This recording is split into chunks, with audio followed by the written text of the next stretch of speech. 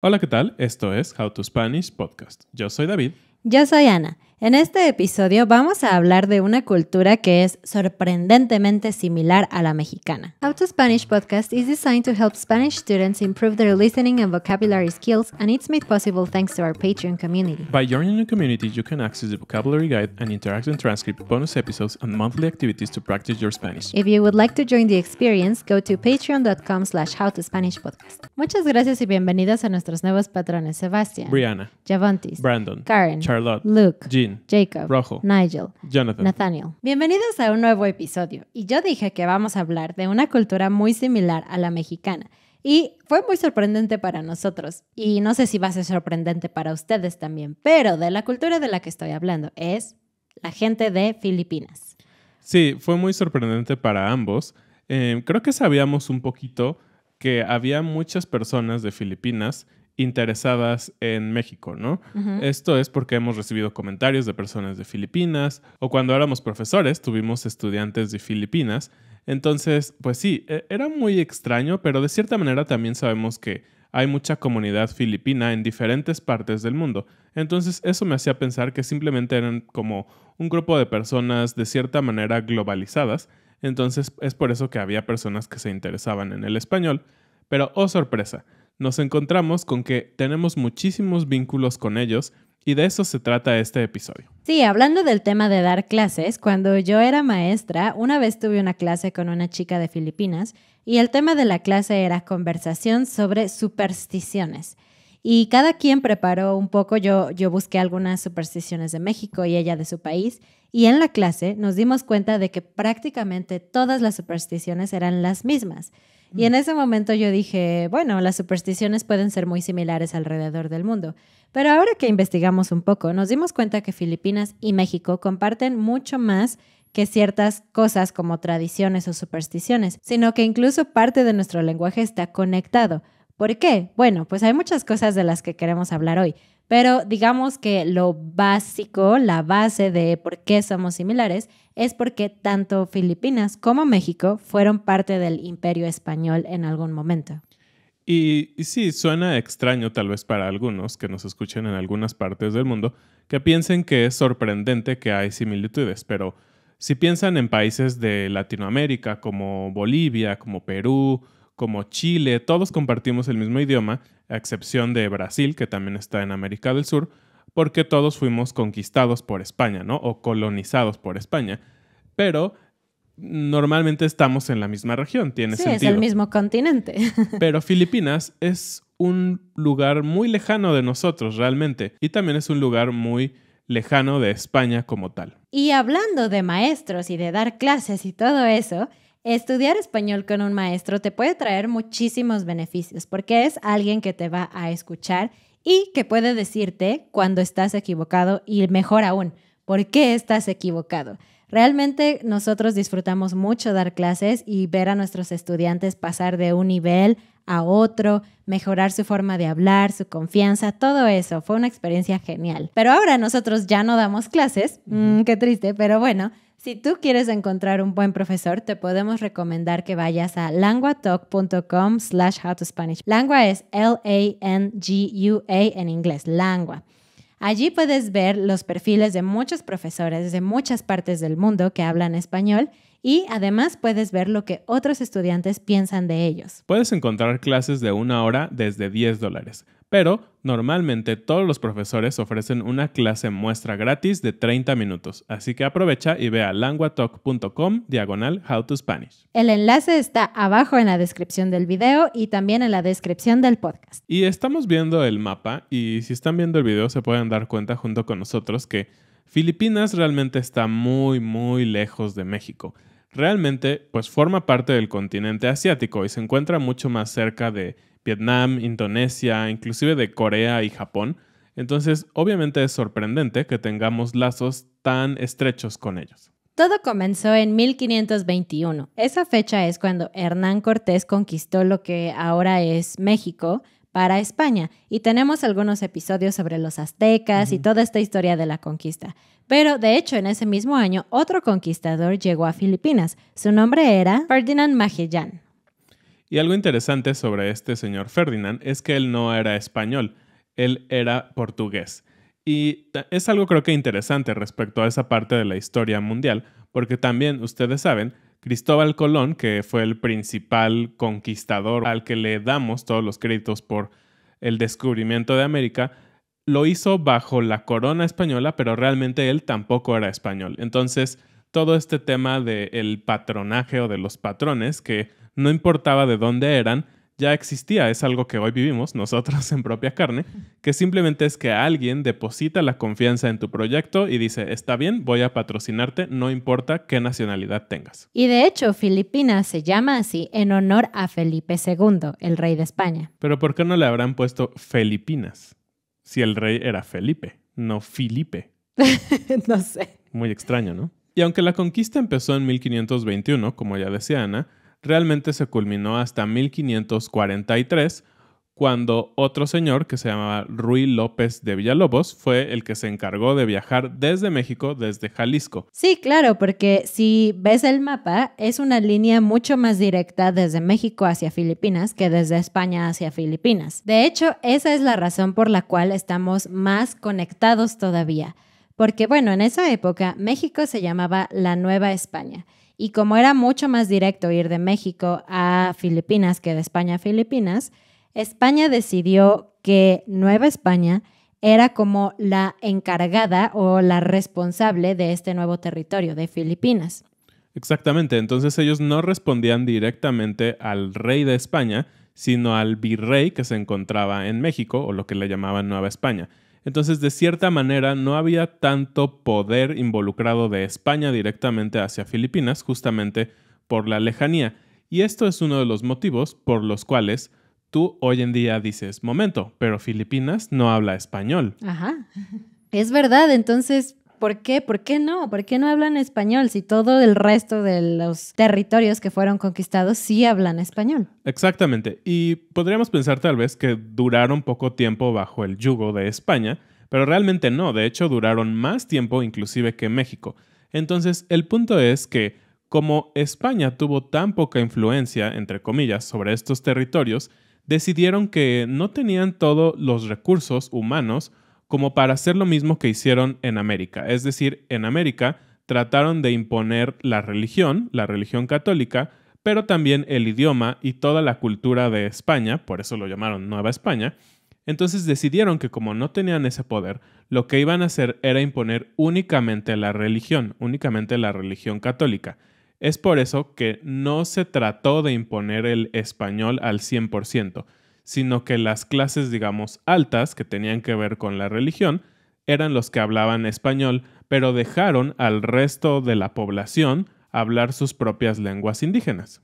Sí, entonces la religión y el español estaban muy conectados en Filipinas. Sin embargo, los misioneros que estaban allá, que eran pues españoles y eran el contacto directo entre la gente de Filipinas y España, se dieron cuenta de que no iban a poder propagar el catolicismo muy bien si ellos seguían hablando en español. Y de hecho se dieron cuenta de esto porque ellos ya tenían la experiencia de cómo había sido intentar evangelizar a la gente en América y se dieron cuenta de lo difícil que fue, así que tomaron la decisión de usar los lenguajes indígenas para propagar la religión. Esa es una de las principales diferencias entre México y Filipinas y tiene sentido porque ellos no hablan español y nosotros sí. Y así como ocurría en México, había un, digamos, idioma más o menos general. Sabemos que en el tiempo antes, digamos, de las civilizaciones más modernas, los idiomas o los lenguajes estaban muy centrados en algunos espacios o territorios más o menos pequeños y cambiaban de un lugar a otro, ¿no? Con estas civilizaciones. Pero el tagalo, que es el idioma, digamos, originario de las islas de Filipinas, se hablaba mayoritariamente entre diferentes de estas sociedades o de estos grupos étnicos. Lo mismo sucedió en México. Cuando los españoles llegaron, se dieron cuenta que había un idioma que era más o menos el que más se hablaba entre las diferentes zonas y ciudades en, México, que era el náhuatl. Y es por eso que el mismo náhuatl tiene muchísima influencia en el español moderno, no solo de México, sino de todos los países que hablan español. Es como la lengua franca, ¿no? Que ahora es muy chistoso pensar que ese idioma es el inglés, porque eh, hay muchos idiomas en el mundo, pero prácticamente en cualquier lado puedes encontrarte a alguien que habla o entiende inglés y te puedes comunicar con ese idioma. Y aparte del idioma, obviamente hubo otro tipo de relaciones de México con Filipinas. Y esto se llevó a cabo porque México tuvo una, digamos, un sistema de transporte directo y continuo de mercancías, de productos entre ambos países que partía del puerto de Acapulco, el más famoso puerto creo que ha sido muy popular entre los turistas, y Filipinas.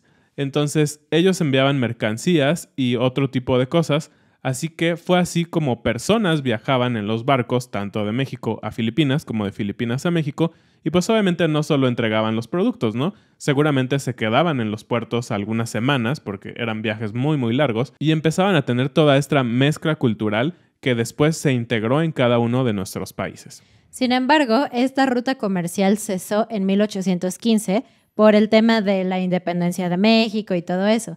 Pero lo interesante es que nuestras relaciones con Filipinas no pararon, porque incluso algunas de las personas que estaban participando en esta guerra, que tuvieron que salir exiliados del país, se fueron a vivir a Filipinas y de hecho llevaron un poco esta ideología a Filipinas que también contribuyó a la independencia de ellos.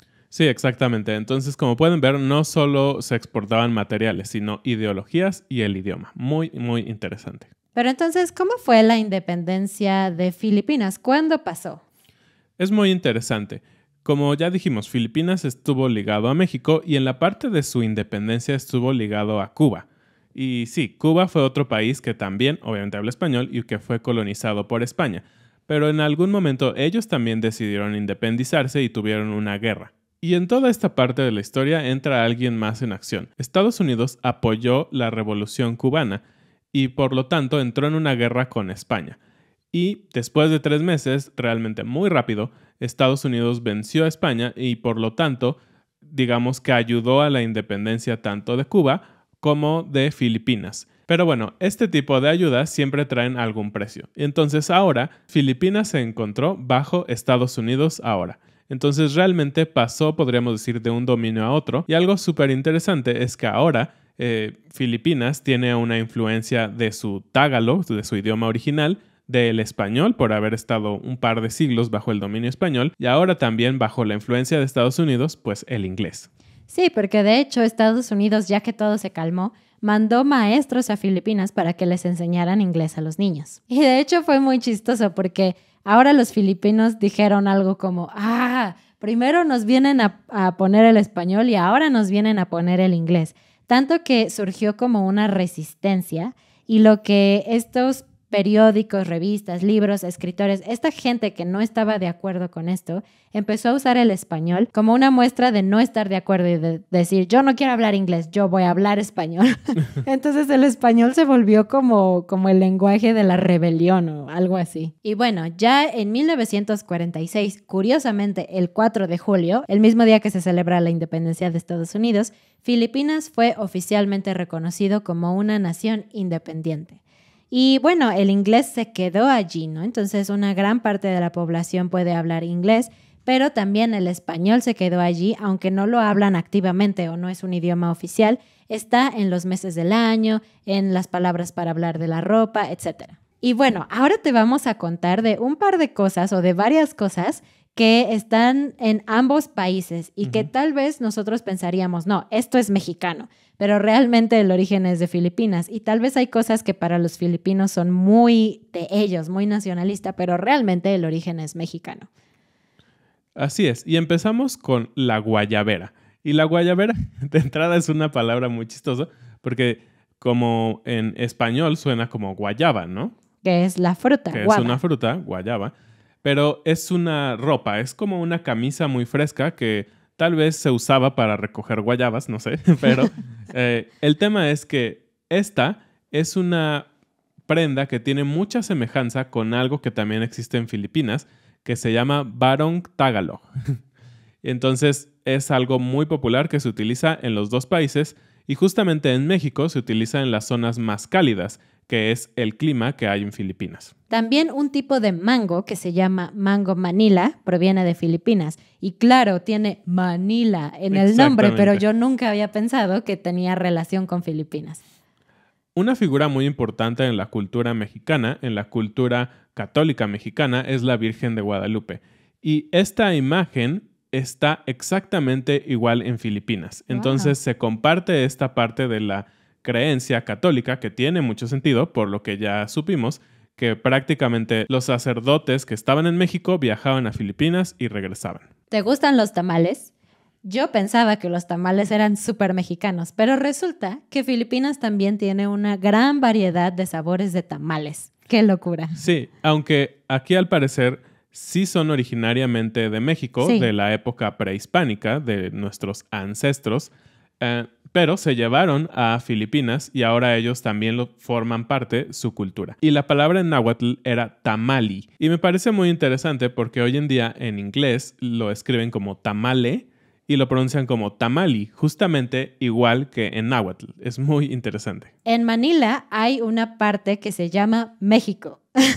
tienen como un municipio que se llama México. Eso es genial. Sí. Y también en Manila tienen algunas estatuas de nuestros héroes de la independencia. Y en Paseo de la Reforma, que es una avenida muy importante y muy bonita en Ciudad de México, también tenemos una estatua de un héroe filipino, José Rizal. Y en el tema de las palabras, sí, también las palabras están mezcladas. De hecho, los filipinos tienen algo así como 5.000 palabras que son de origen hispano y muchas de ellas vienen directamente del náhuatl. Y en Filipinas pasó algo interesante que pasa ahora con inglés y otros idiomas.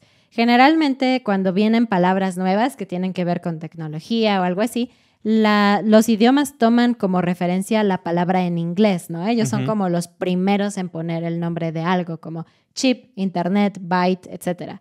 Pero acá fue, fue al revés, porque en Filipinas no tenían palabras para algunos conceptos, que pues ya era una mezcla de conceptos que existían en España y que existían en México, así que se tomó en filipino la palabra en español o una palabra muy similar para poder hablar de estos temas. Por ejemplo, estas son algunas de las palabras que suenan prácticamente igual en tagalo y en español. Yo voy a decirlas en tagalo, espero pronunciarlas bien. Si tú eres de Filipinas, puedes decirme. Y David las va a decir en español. Guapo. Guapo. Cuchara. Cuchara. Miércoles. Miércoles. Ventana. Ventana. Ciudad. Ciudad. sí, es muy chistoso. Y hemos hablado de la influencia de las palabras náhuatl en nuestro propio español moderno. Y esta misma influencia está en el tágalo, como ya lo habíamos dicho. Y vamos a compartir con ustedes algunas de esas palabras que creemos que son muy interesantes y algo muy importante es que algunas de ellas ni siquiera ya son tan comunes en nuestro propio español moderno, pero sí se quedaron en el tágalo. Y si tú eres de Filipinas y alguna de estas palabras no es correcta, o conoces otras, por favor, déjanos un comentario, nos encantaría saber. Aquí te van las palabras. Aguacate. Esta sí es común, todas la seguimos usando, ¿no? También apachurrar. Y esta palabra me encanta. Apachurrar significa apretar. Otra palabra es atole. Originalmente en náhuatl se decía atoli. Y algo interesante es que es un poquito diferente, aunque se utiliza la misma palabra. En Filipinas es arroz cocido con mucha agua y en México es una bebida que tomamos que es en base a masa de maíz. También cacahuate. Tal vez tú conoces la palabra maní, que también es una palabra que conocemos, pero en México y al parecer en Filipinas decimos cacahuate. Otra palabra que compartimos es coyote. Y la palabra original era coyotl. Me gusta cuando terminan en tl. Y es el mismo animal, entonces aquí no hay ninguna diferencia. También chicle que chicle es como le llamamos a la goma de mascar. La palabra más deliciosa del mundo, chocolate. y bueno, chocolate es una palabra que viajó a prácticamente todo el mundo. En casi todos los idiomas suena muy, muy similar. Pero en el original, en el náhuatl, era chocoatl. una palabra genial, pachón. Pachón para nosotros en México Puede ser alguien un poco gordito, pero normalmente decimos de algo que es muy cómodo, que tiene mucho relleno, ¿no? Como puede ser una almohada, dices, está pachoncita, pero para los filipinos en tágalo significa alguien justamente que está un poco gordito. También la palabra nana.